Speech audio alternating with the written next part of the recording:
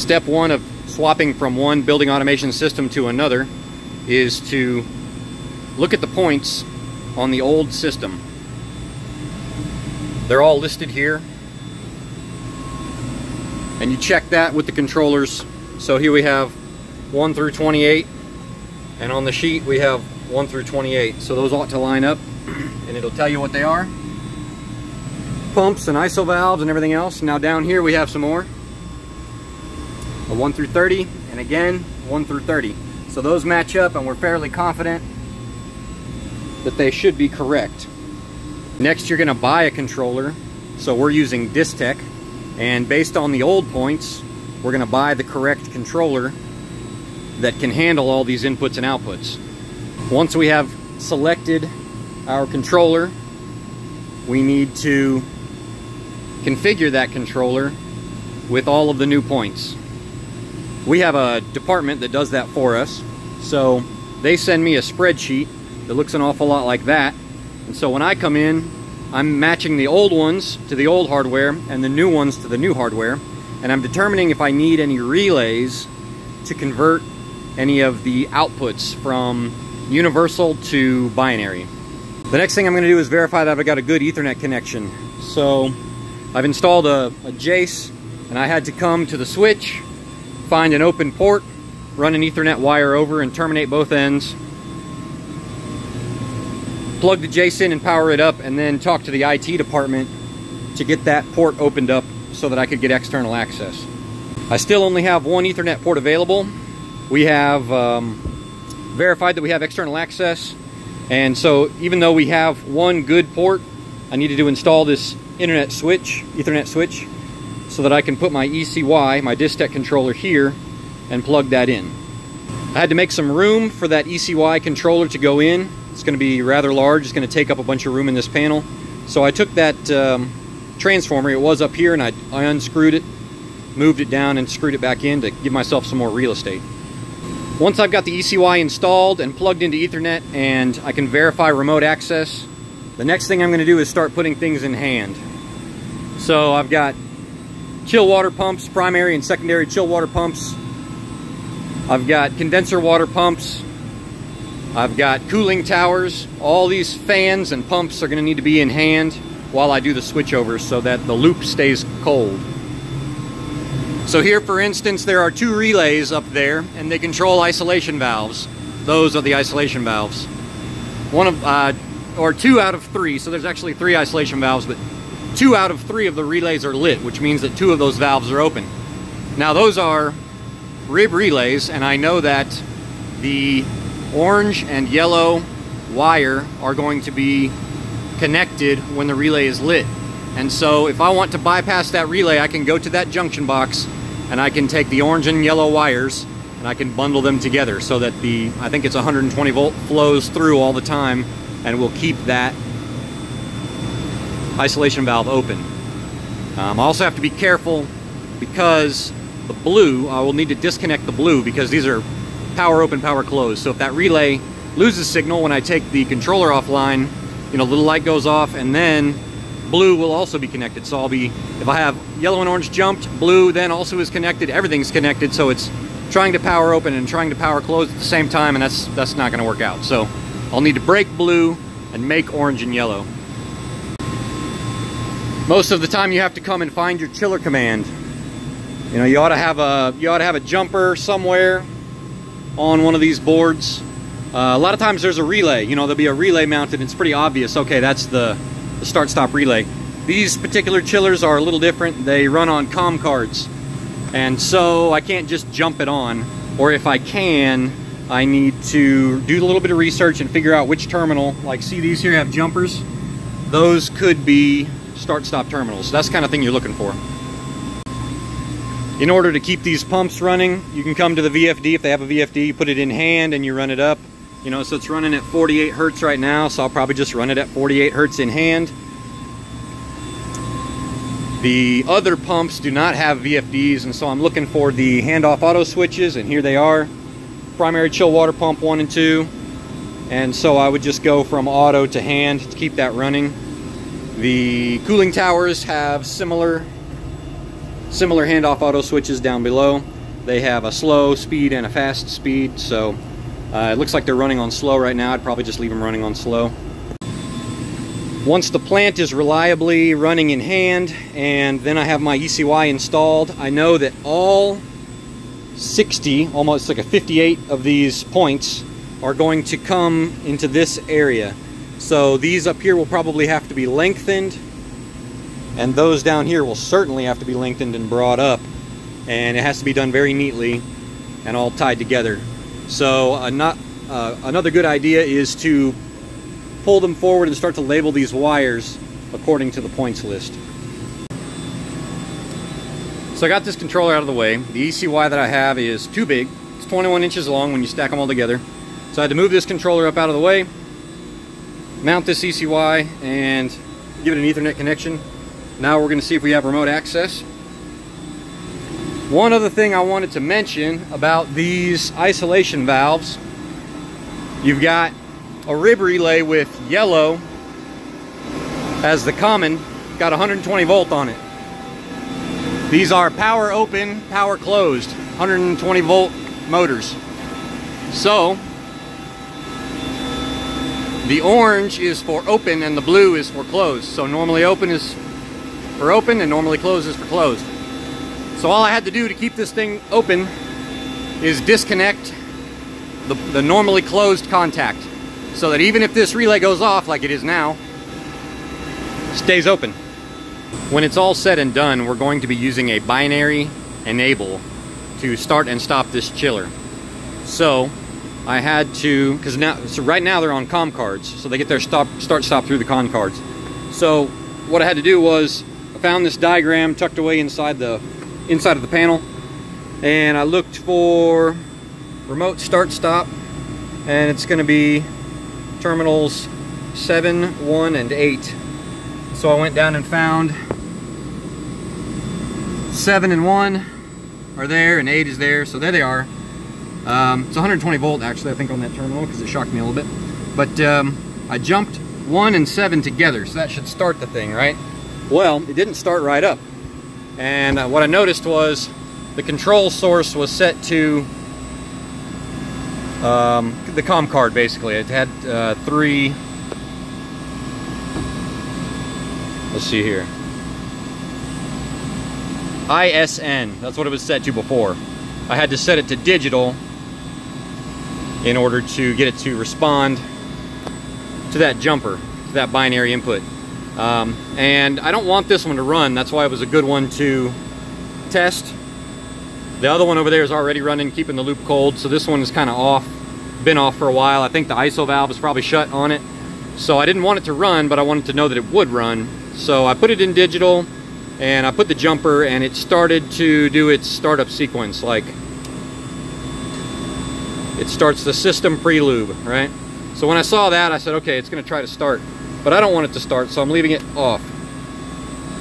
System stopped. So I've got the first 10 inputs out, first 10 points, because they mix up inputs and outputs on these controllers. So the first 10 points uh, swapped over to the new controller, and what I'm having to do is pull this up out of the way. I'm having to extend the wires, you know, put some wire nuts and extend the wires down neatly and label them as I go and land them where they're supposed to be on each side.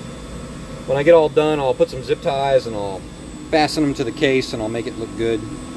Added some relays to convert uh, the universal outputs to the to binary outputs for some of the pumps. As I'm taking these points out one by one and running them down to my own controller, I'm feeding these wires back behind the bundle. Feed them back behind and run them all together. Basically just take the same path over and over. And running everything behind gives you a good clean path. And then as you get them done one by one the mess gets cleaned up.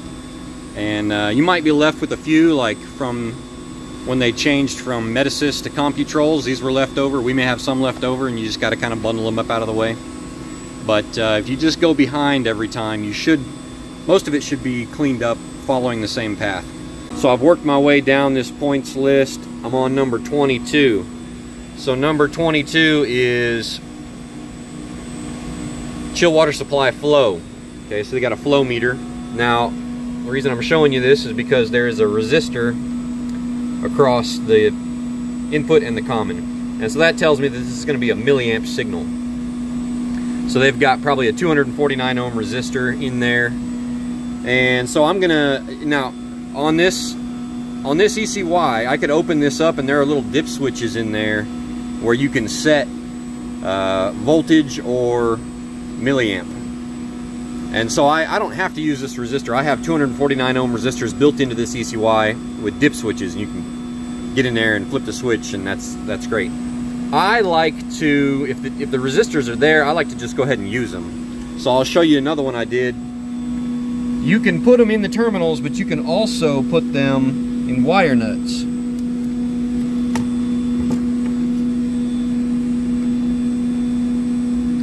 So the black is common and the yellow is the signal for that input and you just need that resistor in parallel. Then you follow that down and it just goes into the controller. So you could put it right there across the red and the black, but it's the same thing to do it here across the red and the black. Just personal preference. So the types of inputs that are going to need resistors are typically amp clamp transducers that tell you how much amperage is running through a circuit, flow meters, and differential pressure transducers. So here is a uh, here's a differential pressure transducer, and you'll notice it's got a three wire setup. So when you follow it up, it's got three wires. So it's got an input, an input common, and then a power source. And so you want to take note of the type of power source. So it looks like that's 24 volt AC. So that's easy enough. We just need to jump that over to our AC power. And you'll notice that this differential pressure transducer does not have a resistor across the input. So, you know, it just depends on the type of differential pressure transducer. They can be set up to do 0 to 10 or 0 to 5 volt. So this one, hopefully this one, when you plug it in, it's just going to work. So I just started putting in the ISO valves. My first ISO valve is here. And I realized that I was going to need jumpers. I just got done making 20 or so tiny little jumpers to jump power down to all the commons of the outputs. And that is because these outputs are externally powered. Um, fun fact about the ECY, if you have a, an externally powered DO, it will only accept 24 volt. So it, it only has the ability to accept 24 volts into the common, and then there's a triac built into the controller, and it will switch and allow that 24 volts to flow out of the DO1. A universal output is always internally powered. So the power for an internally powered output comes from inside the controller. So the common will go to transformer common and the signal will come out of the output and it's connected internally with the power source coming into the controller. Now, yeah, the externally powered is sort of the opposite. So you have the, the power coming from an external source and then um, it's connected with a dry contact to the output. So most externally powered controllers, you could put whatever you want. It could be 24 DC, it could be 12 volts DC, and it just has a dry contact and it will output that voltage, whatever you put in comes out. Um, but on an ECY, they are triac outputs and they only accept 24 volts AC. So if you have some other voltage you want to put through, you're going to have to have a relay in between to create that dry contact. So as I'm getting down to the last points, so this is actually the last point, uh, point 28, and point 28 over here is blank. So now luckily they ran the wire on the outside of conduit and it actually goes out to the cooling towers. I traced it all the way over. And it goes to uh, what looks like a flow meter and it, it's only two conductors so it seems like so this is the other end of it here. Seems like should be an alarm. some sort of an alarm. I mean, it's probably not a transducer. It's probably just if too much makeup water is flowing into the system, it would trigger an alarm, I suppose. Not sure. We'll have to figure that one out. Now, there are some other things on this controller that I need to pay attention to. I have a 24 volt AC power source and I know that was plugged into the transformer so I know what that is and then also you have two wires. This gray wire which I labeled 24 DC and this other wire 24 DC they're coming in to these terminals here and they're meant for they're meant to supply power to transducers. And uh, so I trace this up and over and I can see a differential pressure transducer there and I can also see a flow meter coming off of that same junction box.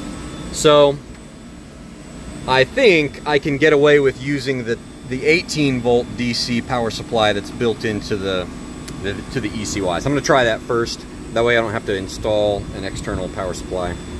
So we got, we got it hooked up we got a couple more things we're still working on, pulling uh, chiller start stops. And we're starting to test and we're finding some problems. So I had to swap the chill water supply sensor. It was bad, swap that out. And then we're starting to test pumps and we're finding that the pump relays are 24 volt DC.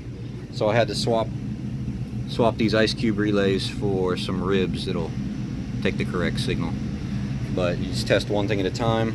So that one I had to swap, this one I had to swap. I think pump number one just worked. It had a 24 volt, regular 24 volt AC. So you just take them one at a time and see how they go. So there it is, my man Cedric's got the start stop relay tied in. We had to pull wire, crazy wire pull through all these conduits to get all the way back over to the box. One for every chiller took like two hours. So the flow meter, they need to know the range and the output signal and the units. So units is gallons per minute, the range is 0 to 1600, and the output signal is 0 to 10 VDC. And all of that is used to configure the input. And that's what a flow meter looks like. There are different types, but those are really common. So we got the current transducers installed. Sometimes, sometimes they work right out of the box and you don't have to mess with anything. Sometimes you have to adjust the span. So there's a potentiometer there that you can adjust. And you know you've got the right span when you know you run the chiller and you take a reading with your amp clamp and say 70 amps. And then you adjust the span and you watch the the EMS BAS and when it matches you know you've got you've got it set right. And that's about it. I've just got a little bit more cleanup in this box that needs to be done. I've got to reroute these ethernet cables a few more inputs that didn't quite test well but that's about it